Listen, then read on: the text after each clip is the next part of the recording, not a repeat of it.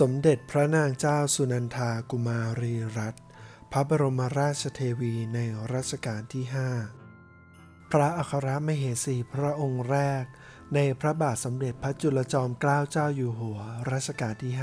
5 พระองค์เจ้าสุนันทากุมารีรัตน์พระราชธิดาในพระบาทสมเด็จพระจอมเกล้าเจ้าอยู่หัว และสมเด็จพระปิยมาวดีสีพัชรินทรมาตา หรือที่ชาวบ้านขนานพระนามว่า สมเด็จพระนางเรือล่ม พระองค์ทรงเป็นพี่น้องกับสมเด็จพระนางเจ้าสว่างวัฒนา และสมเด็จพระนางเจ้าสวภาผ่องศรี ซึ่งทั้งสามพระองค์ทรงเป็นพี่น้องต่างมารดากับรัชกาลที่ 5 นั่นเอง หากท่านใดมีความสนใจในพระราชประวัติของสมเด็จพระนางเจ้าสว่างวัฒนา สามารถเลือกดูเลือกชมได้ใน playlist นะครับ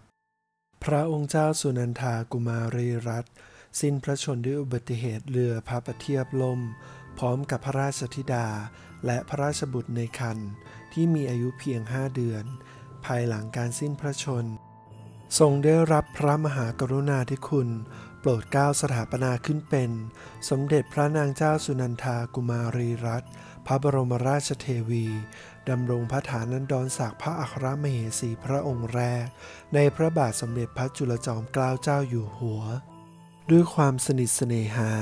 ในหลวงรัชกาลที่ 5 ได้โปรดสร้างอนุสรสถานไว้หลายแห่ง รวมถึงที่น้ำตกพริ้วจังหวัดจันทบุรีด้วย พระองค์เจ้าสุนันทากุมารีรัตน์ทรงมีพระสิริโฉมงดงาม พระสติปัญญาฉลาดเฉียบแหลม ทรงมีพระอัธยาศัยจริงจังเด็ดขาด ปฏิบัติข้อข้าราชการและรับสั่งด้วยความเฉียบคมชัดเสมอ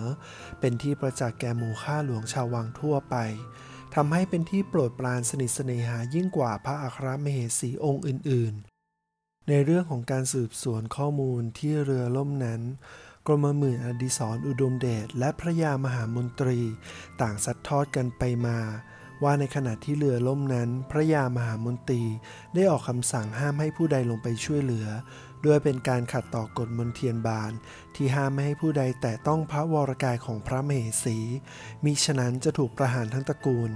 หลังจากนั้นจึงโปรดเกล้าให้เจ้านายไล่เลียงคนอื่นดูได้ความว่า พระองค์เจ้าสุนันทากุมารีรัตน์ที่วงโคตพร้อมด้วยพระราชบุตร ในพระคันพระชนห้าเดือนเต็มทำให้พระบาทสมเด็จพระจุลจอมเกล้าเจ้าอยู่หัว ทรงเสียพระทัยยิ่งนัก เนื่องด้วยเหตุการณ์นี้ทำให้มหาชนถวายพระนามพระองค์เจ้าสุนันทากุมารีรัตน์ว่า สมเด็จพระนางเรือล่ม และในพระราชพิธีถวายพระเพลิงพระบรมศพในครั้งนี้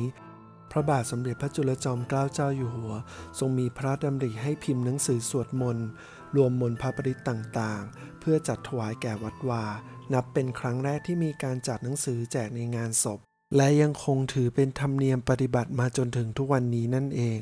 หากท่านสนใจไปกราบสการะอนุสรสถานแห่งความรัก สามารถไปที่ศาลพระนางเรือล่มที่วัดกู้จังหวัดนนทบุรี